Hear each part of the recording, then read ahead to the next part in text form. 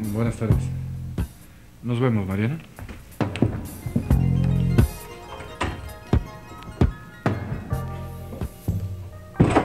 Ya encontraste un nuevo pretexto para volver aquí. Pero esta vez te advierto que no toleraré que cruces una sola palabra con mi marido. Díselo a él, no a mí. Díselo a él.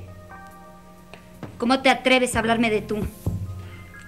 Si tú lo haces, no veo por qué yo no lo pueda hacer también. Además, no te preocupes.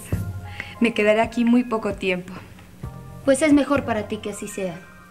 Porque no te dejaré tranquila ni un solo momento. Hasta que no te largues de esta casa. Claro que me iré. Porque Leonardo y yo nos vamos a casar dentro de unos días.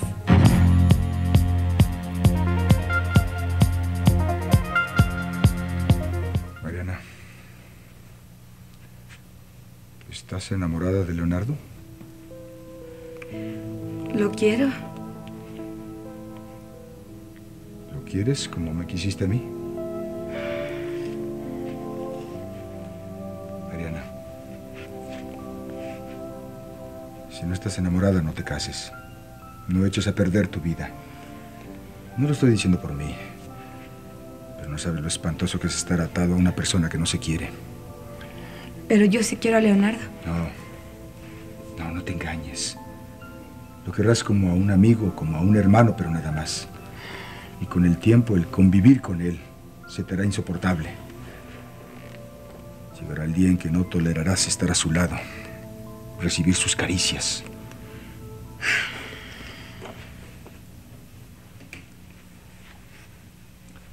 Podría ser tan bonito lo nuestro, Mariana. Yo te quiero, no sabes cómo. Por eso me he portado como un loco, porque no quiero resignarme. No digas más, por favor. No. Déjame hablar.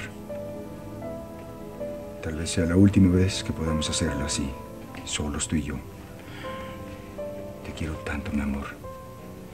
Y sé que tú también a mí, aunque lo niegues. No te cases. Por favor. Te lo suplico, no te cases. Estamos presentando Los ricos también lloran.